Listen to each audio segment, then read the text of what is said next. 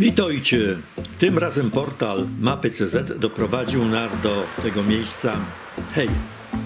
Jest to wstęga drogi numer 451, z której wyrasta skalni cesta łącząca piekło i raj.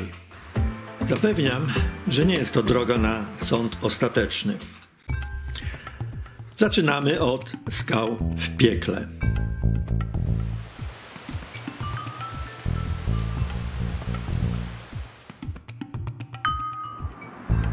Szukamy śladów smoły, siarki, zrzuconego poroża, smrodu.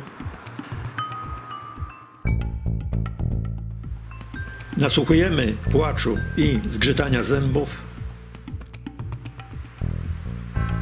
A tu niebiańska cisza.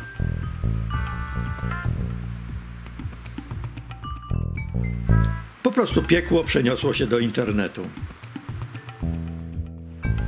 W pobliżu, za tym murem, strumyk szumi zwolna, dając możliwość ablucji, zmycia brudu grzesznego życia. Taki sobie tam czyściec. Kogut Piotr wita nas jak wars. Oto dzielnia ptasiego bractwa o nazwie Raj. Zwarta zabudowa z miejscami czekającymi na nowych, jajonośnych lokatorów. Umundurowane osobniki z agencji wynajmu lokali inkasują lokalne opłaty.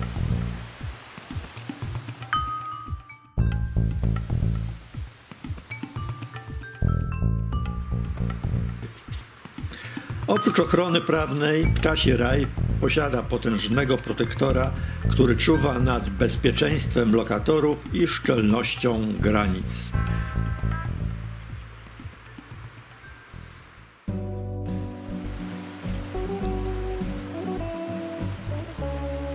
W pobliżu dzielni Ptasiego Bractwa znajduje się akwen czystej wody.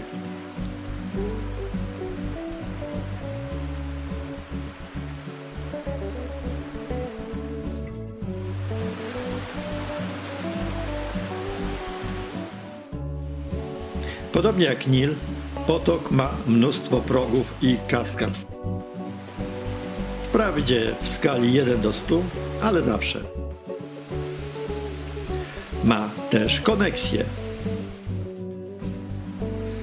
Co łączy wodospady na tych potokach? Wszystkie one wpadają do Bałtyku.